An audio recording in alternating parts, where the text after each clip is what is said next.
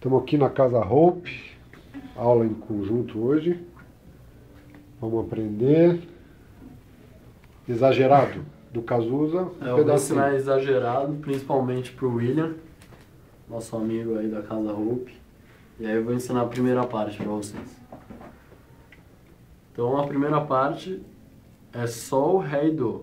Então Sol, o Ré e o Dó. Então fica assim.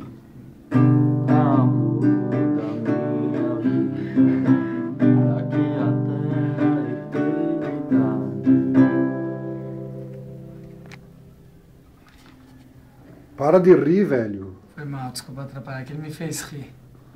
Ô, velho. Desculpa.